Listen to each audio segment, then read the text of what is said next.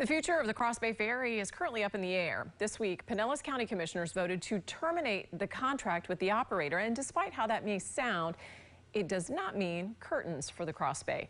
News Channel 8's Chip Osowski joins us now live from St. Petersburg with the details, so it's not bad news necessarily.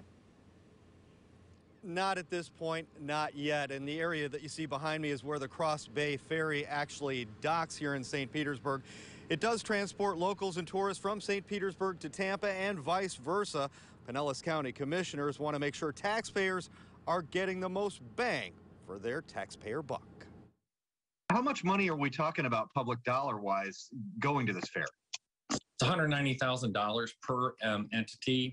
Pinellas County Administrator Barry Burton explains Pinellas County Hillsborough County and the cities of Tampa and St. Petersburg each shell out nearly $200,000 per season to keep the ferry financially afloat.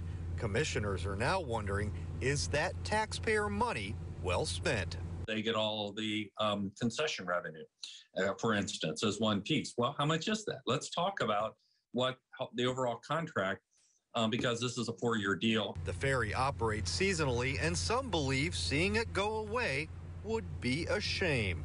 I love it. It's a just nice, relaxing way. Right now, with traffic and everybody from up north coming in here and clogging up the roads and all the traffic on the Frankland and then the Gandy. And then there's the economic impact for local businesses. Robin Bugs operates Ancient Herbal Care on the pier. I mean, it encourages a lot of tourists to want to visit both places, both areas. Yeah. If it were to go away, I think if it went away, I think people would be really discouraged. The discussions haven't even begun yet. St. Petersburg city leaders are confident the ferry will sail on.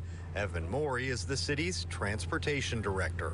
I would say it's certainly not cause for panic because it's clear that all the government entities want this to continue in the future. It's just a matter of exactly how that happens.